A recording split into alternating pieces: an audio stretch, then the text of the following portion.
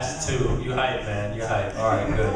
Hype dog. Good. Bad dog, you all right, man? Yeah, great. Thank you, man. Oh, man. All right, you guys ready for the next comment?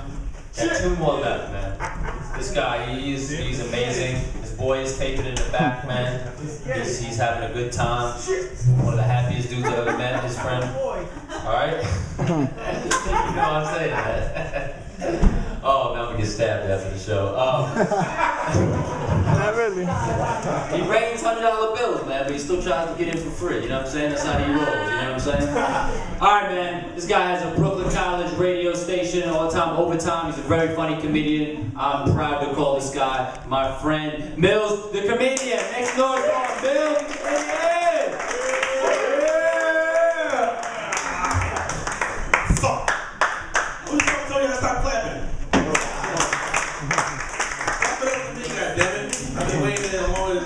Security office, man. Everybody black knows that joke. Y'all feeling out here, man? This weather is fucked up, man. This weather is bad as shit. This weather, this kind of weather that make homeless people want to get their lives together. this kind of weather, a home person like, you know what? I need a second chance in life. It's, raining one day, 77 degrees the next day, 85 degrees this day, and it's goddamn hailing on the motherfucking highway when I'm coming here. That's bullshit.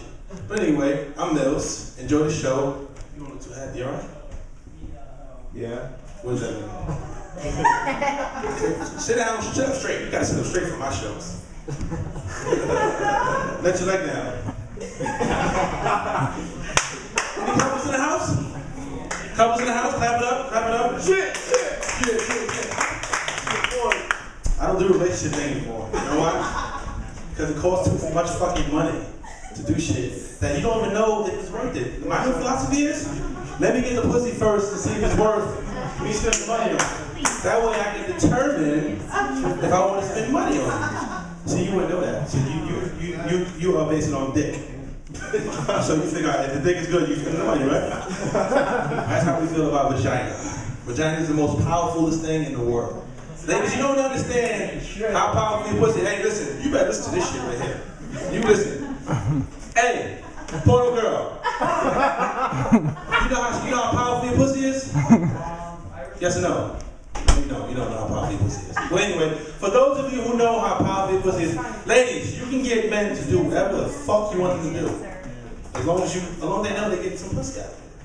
But if the pussy is whack, we might want a refund on the sex. I know me. I've asked for a refund one time. I've actually gave the girl back my dick. I said, you know what? You weren't supposed to have this. You weren't supposed to have this. I see a lot of, I see, ooh, she's sexy. Look at her.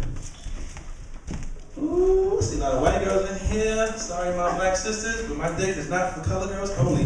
That was just a movie. Like me, I, you know, I do a lot of online dating, and um, I feel like it works better because you get to filter out what you really want to do with yourself. You pay forty-five dollars, and you can see a thousand bitches. You go to the club, pay twenty dollars, you're bound to not go home with any numbers. And you're just like, damn, I wasted twenty-seven dollars, twenty-five to get in, two dollars on a cup of ice and water, I'm not buying no drinks.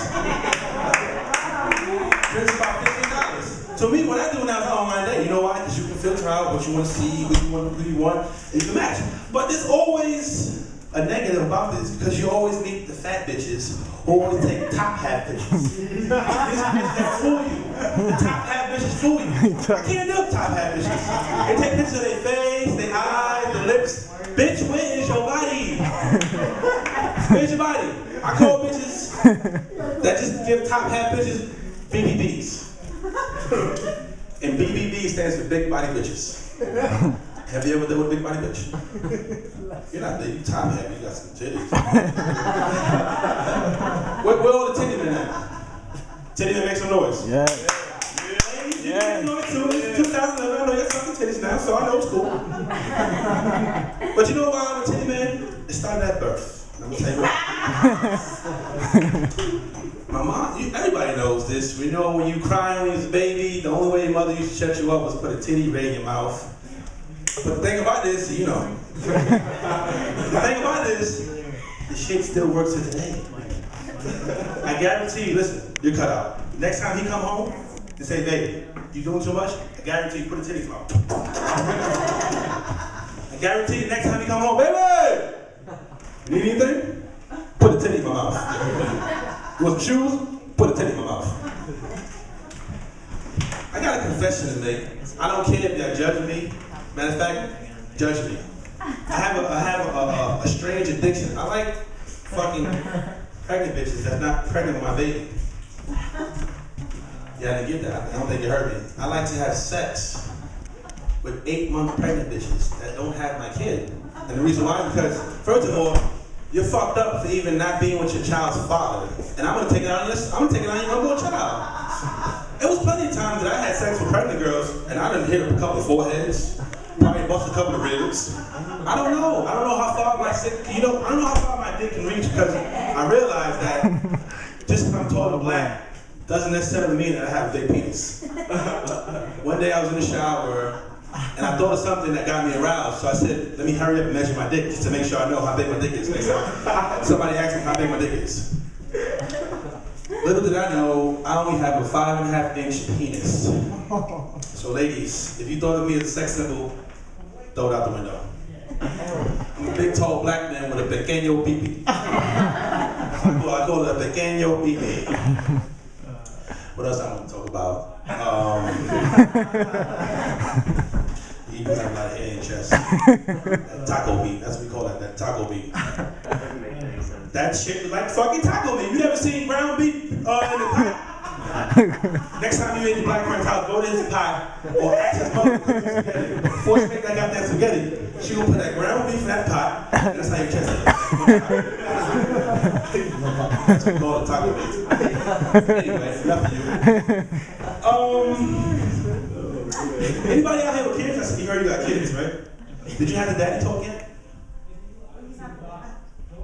You fucking the pregnant bitch that wasn't yours. Nice, nice. Anyway, anybody have kids in here or anybody's pregnant? You have kids? Did you have the daddy talk yet? You don't know what daddy talk is. Really? I'm telling you, daddy talk is this right here. After your son or daughter, however they are, gets to a certain age, shut them down. Shut them down, right? Say, look here, this is something that my father didn't do for me. I'm, I'm, I'm gonna pass my young knowledge on to you guys. So, you take a look at your life, right? You say, okay, where have I been in life? I went to school, got a job, might have got a GED, don't want to call it out. But what, what my dad didn't do was let me know that I wasn't gonna be worth shit in life. This is what he didn't tell me. He didn't tell me this.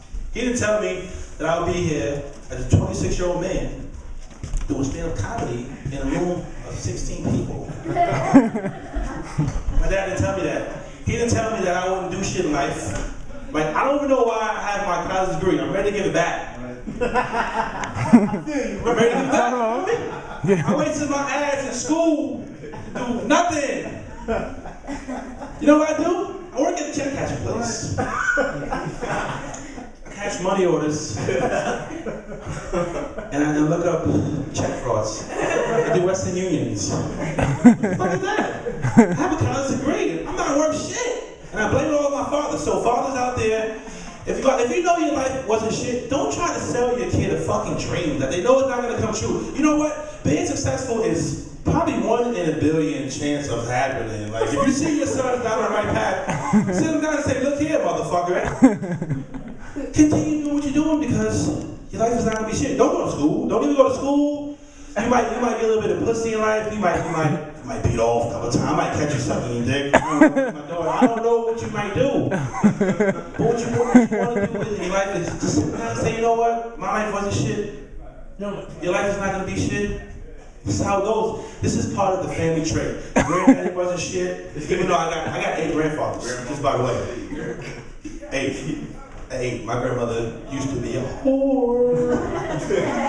And I'm glad she found Jesus because she just now told me that my, I have nine aunts and uncles, including my mother. And my grandmother has eight baby fathers. Only the twins have the same father.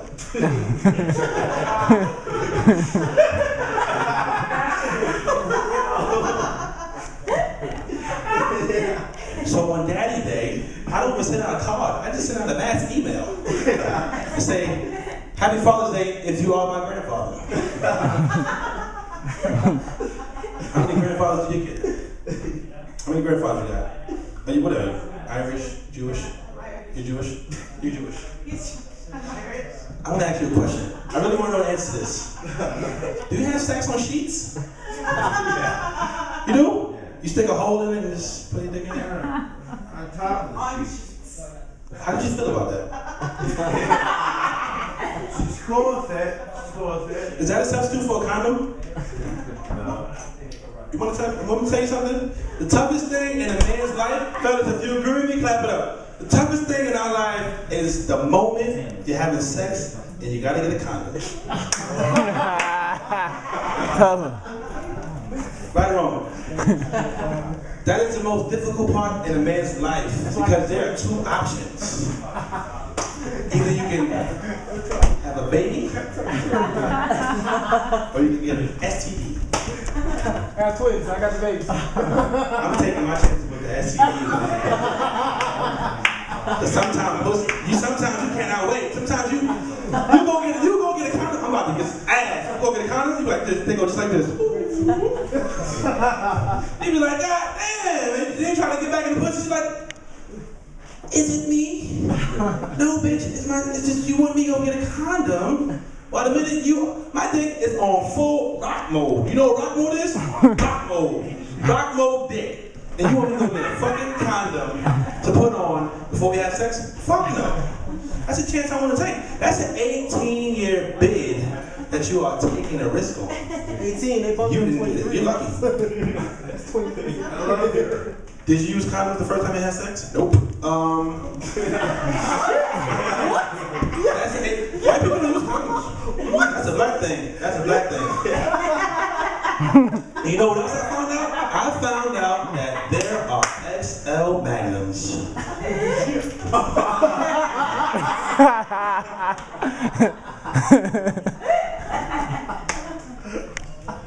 was in the grocery store. I'm about to get some pussy, so you know me.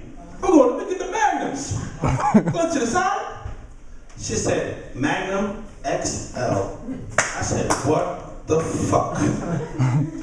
but the fucking thing about it is, there was a white guy that said, let me get those. those. Those. I looked at him and said, damn. I asked him, how big is your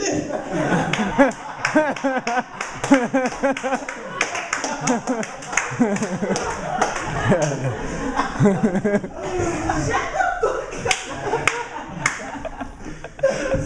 I didn't even want to get an answer. I just walked out the store. My name is the comedian. Y'all can look me up on YouTube. Twitter,